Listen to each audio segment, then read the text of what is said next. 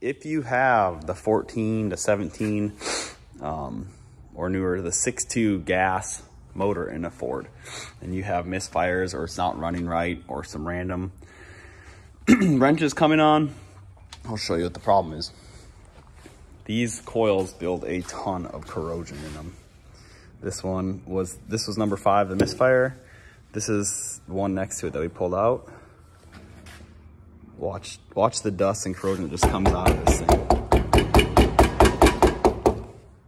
Just full corrosion. They, they have um, connectors, a little connector up inside here that bridges between this spring and the actual coil connector.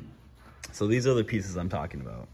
These pins go up inside there and they touch in the coil, the coil contact and they make a bridge between the spring, okay?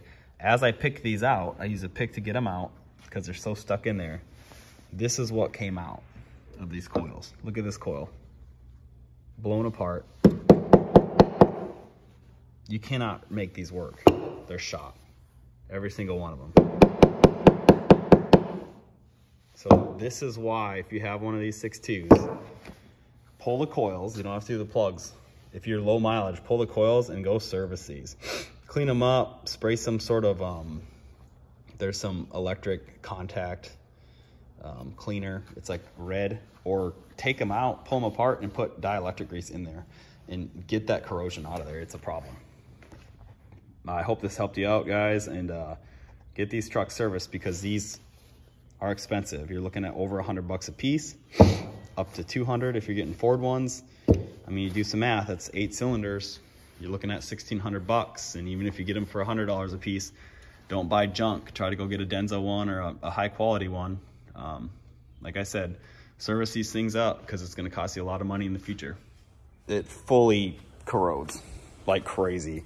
Um, we've seen enough of these. It's to the point where um, Let's see, this one's fresh off. Look at that.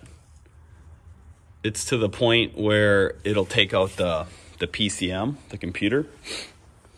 It'll misfire so bad and these things will arc out and um, they've taken out PCMs. Um, just weird stalling or, you know, wrench lights, misfire codes. Um, so that's the first thing you check. This truck only has 88,000. We've seen it with 70,000 on them. Um, they definitely need, the coils need service properly. When you go in and take them apart, um, you're gonna see up inside here, when you take your, your boot off, you're gonna see up inside here, um, you won't be able to see it in this video, but there's also a short connector pin that is only like about, it's teeny, say quarter, quarter inch, half inch at the most and it's a, a, brass pin that goes up in between here and does the contact between here, it'll be corroded terribly. So I don't know if you'll be able to clean it good or not. They do, like NGK has a kit you can buy with just those pins and stuff. But getting these clean up inside there properly is the next challenge. So if you're gonna do a service on one of these trucks, it's 16 spark plugs. Um, and you need to service the coils. And if you have one of these trucks that you have about 50,000 miles on it, you don't have to do spark plugs. I would pull the coils and service them. All you need is an eight millimeter wrench or ratchet and you'll pull both the, um, the connection here, the connection on your throttle body. This whole, um, this pulls back. You have two of these wire connectors on your, um, your intake just for your throttle body intake. And it, it pulls back and pulls off. Um, and then the coils are held on with an eight millimeter. You gotta push your yellow or your red tab back and push down and release it. And you can twist these lightly, twist these lightly and pull them off. Just like that.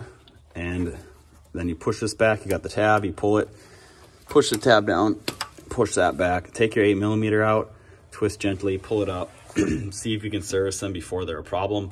You know, clean them out and use some good um, dielectric grease or something on that pin to try to stop this before it gets to be a problem. So I hope this helps you guys out. I mean, we've seen enough of this already. This is the, I think, fourth truck in this year that's kind of having issues. And one of them took the PCM out from, you know, the, the coils firing wrong.